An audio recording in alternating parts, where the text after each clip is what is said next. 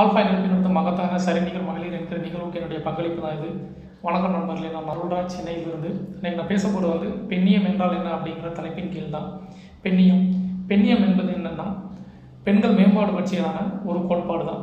அதாவது பெண்களை வந்து அரசியல் சமூகம் மற்றும் பொருளாதார ரீதியில் எப்படிலாம் மேம்பாடு அடைய வைக்கலாம் அப்படிங்கிறது குறித்த தத்துவங்களை முன்வைக்கக்கூடிய கோட்பாடு தான் பெண்ணியம்.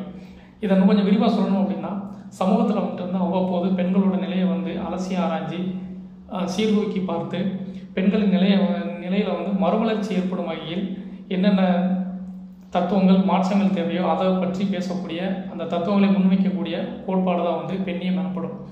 இந்த பெண்ணியத்தை பேசுகிறவங்க வந்துட்டு வந்து பெண்ணியவாதிகள் என்று அழைக்கப்படுகின்றனர். இந்த தமிழ் சொல்லான பெண்ணியம் அப்படிங்கிறது வந்து ஃபெமினிசம் அப்படிங்கிற ஆங்கில சொல்லிலிருந்து வந்தது. இந்த ஃபெமினிசம் அப்படிங்கிற ஆங்கில சொல் வந்து ஃபெமினா அப்படிங்கிற லத்தீன் மொழி சொல்லிலிருந்து வந்தது. லத்தீன் மொழி சொல்லான ஃபெமினா அப்படிங்கிறது என்ன அர்த்தம்னா having the qualities of female அப்படிங்கிறது தான் வந்து அந்த வார்த்தைக்குரிய அர்த்தம். இந்த ஃபெமினா அப்படிங்கிற வார்த்தை வந்து ஆரம்ப காலகட்டத்தில் வந்து பெண்களோட பண்புகளை குறிப்பிடுறது தான் பயன்படுத்தப்பட்டது. அதன் பிறகு காலப்போக்கில் மாற்றங்கள் ஏற்பட்டதுனால பெண்களோட உரிமைகள் பற்றி பேசவும் பெண்களோட பிரச்சனைகள் பற்றி பேசுவதற்கும் இந்த ஃபெமினா அப்படிங்கிற சொல் வந்து எடுத்தாளப்பட்டது. அதாவது ஆயிரத்தி எண்ணூற்றி எண்பத்தி ஒன்பது வரைக்கும் வந்து உமானிசம் அப்படிங்கிற ஒரு வார்த்தை தான் வந்துட்டு வந்து பெண் உரிமைகள் பற்றி பேசுவதற்கும் பெண் பிரச்சனைகள் பற்றி பேசுவதற்கும் வழக்கில் இருந்துச்சு. அதன் பிறகு ஆயிரத்தி எண்ணூற்றி தொண்ணூறாம் ஆண்டு தான் முதன் முதலாக இந்த ஃபெமினிசம் அப்படிங்கிற ஒரு வார்த்தையை வந்துட்டு வந்து பெண் உரிமைகள் பற்றி பேசுவதற்கும் பெண் பிரச்ச பெண்ணோட பிரச்சனைகள் பற்றி பேசுவதற்கும் அந்த சொல் வந்து எடுத்தாளப்பட்டது. பெண்களின் எல்லா சிக்கல்களையும் புரிந்து கொண்டு அவற்றை நீக்கி அதன் மூலம் உலகளவில் அரசியல் சமூகம் பண்பாடு பொருளாதாரம் போன்ற நிலைகளில் மாற்றத்தை கொண்டு வருவது தான் அப்படின்னு சொல்லியும் இந்த பெண்ணியம் அப்படிங்கிறதுக்கு வந்து வரையறை கொடுக்குறாங்க. இந்த பெண்ணியம் வந்து காலத்துக்கேற்ப காலத்துக்கு ஏற்ப தேவைக்கேற்ப வந்துட்டு வந்து புது புது வடிவங்கள் எடுத்துக்கிட்டு தான் இருக்குது. அந்த வகையில் இந்த பெண்ணியம் அப்படிங்கிறது வந்து இரண்டு வகைகளாக பிரிக்கலாம். ஒன்று வந்து சூழலுக்கு ஏற்ற பெண்ணியம் ரெண்டாவது வந்து தேவைக்கு ஏற்ப பெண்ணியம்.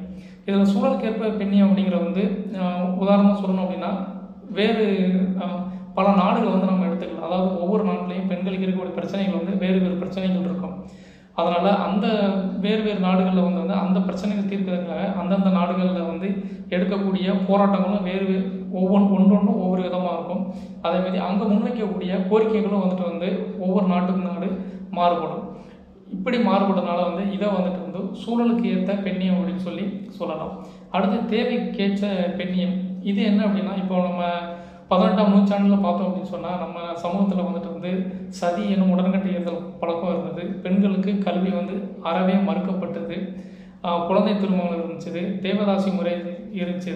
ஸோ ஆனால் இப்போ இந்த காலகட்டத்தில் வந்து இந்த மேற்கூறிய இந்த பிரச்சனைகள்லாம் வந்துட்டு வந்து இப்போ இல்லை. அதனால் அந்த பிரச்சனைகளுக்கு இந்த காலகட்டத்தில் நாம் வந்துட்டு வந்து பெண்ணியம் மூலமாக வந்து குரல் கொடுக்க தேவையில்லை. இதைத்தான் வந்து தேவைக்கேற்ற பெண்ணியம் அப்படின்னு சொல்லி சொல்கிறோம் அதான் ஒவ்வொரு காலகட்டத்திலையும் பெண்களுக்கு எதிரான அடக்குமுறைகள் அதிகமாகும் போதும் பெண்களின் உரிமைகள் பறிக்கப்படும் போதும் வந்து பெண்களோட பெண்கள் மீதான பிரச்சனைகள் வந்து அதிகமாகும் போது ஒவ்வொரு காலகட்டத்திலும் புரட்சியாளர்கள் தோன்றி பெண்களுக்கு வந்துட்டு வந்து அறம் போல இருந்திருக்கிறாங்க. இதை நம்ம வரலாறு நெடுக பார்த்துக்கிட்டே வரலாம்.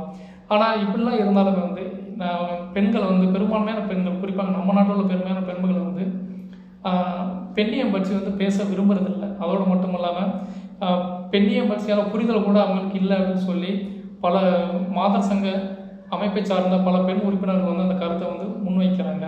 அதனால் நம்ம நாட்டில் உள்ள பெண்கள் வந்து வந்து பெண்ணியம் பற்றி அதிகமாக பேச வேண்டும் பெண்ணியம் பற்றி நல்லா புரிந்து வைத்திருக்க வேண்டும். அந்த- நிலை வந்து கண்டிப்பாக சமூகத்தில் உருவாகி விட வேண்டும் அப்படிங்கிறது என்னோட விருப்பமும் கூட. பெண்ணியம் என்பது வந்துட்டு வந்து பெண்களுக்கான உரிமைகளை பெற்றுத்தருவது மட்டுமல்ல மாறாக இந்த சமூகத்தில் வந்துட்டு வந்து பெரிய அளவில் மாற்றங்களை உருவாக்கக்கூடியது தான் இந்த பெண்ணியம் அப்படிங்கிறது. அதனால் பெண்களுக்கு அரணாக நிற்கும் பெண்ணியம் பேசப்பட வேண்டும். பெண்ணியம் வளரட்டும் பெண்ணியம் வாழட்டும். பெண்மையை போற்றுவோம். நன்றி வணக்கம்.